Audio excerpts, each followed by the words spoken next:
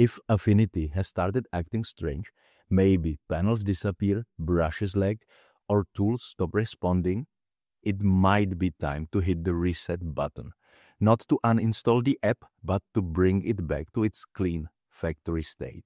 Many users don't realize that Affinity actually has a built-in reset feature hidden behind a simple keyboard shortcut, and using it can fix most performance issues, layout bugs, and weird glitches that creep in after updates. Let's go step by step and bring Affinity back to its best behavior. Start with the app completely closed. If Affinity Designer, Photo, or Publisher is still open in the background, quit it first. Then, depending on your computer, the shortcut is slightly different. On Windows, hold down the Control key while double-clicking the up icon.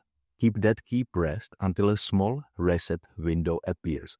On Mac OS, the shortcut uses three keys together, Command, Option, and Control. Hold all three, then click on the up icon to open it. Keep them pressed until the same reset window shows up. This little window is the secret reset dialog most users never see. Inside it, Affinity lists several types of data that you can clear. Each checkbox represents something different, things like your user preferences, the workspace layout, saved brushes and swatches, font caches, and even performance caches. If the goal is a full clean start, you can just click select all and then choose clear. This wipes everything bringing Affinity back to the exact state it was in the first time it launched. After that, it's a good idea to sign out of your Affinity account, restart the app, and then sign in again. Once it opens, you'll feel like it's freshly installed, clean, fast, and stable. But maybe a total reset isn't what's needed. Sometimes it's better to be selective. For example, if the problem is just your toolbar layout or floating panels disappearing, clearing only the workspace option might be enough. If Affinity feels sluggish or brushes don't load properly, clearing the cache often fixes that instantly. Each checkbox gives you control, so you decide exactly what gets reset and what stays. That's the best part. No need to lose custom brushes, macros, or export presets unless you really want to. Now, why does this method work so well? Over time, as Affinity saves settings and user data, small conflicts can build up. When new updates install on top of old preferences, things can break silently. Resetting clears that old data, forcing the app to rebuild its configuration from scratch, just like new software would.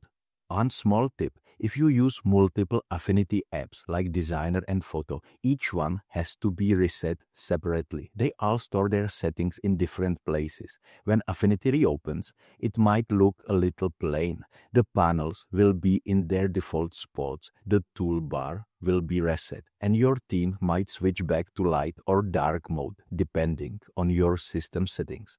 Spend a few minutes rearranging your workspace the way you like it and then save that layout under View, then Studio, and then save Workspace. That way, if something goes wrong again later, you can restore your setup in seconds.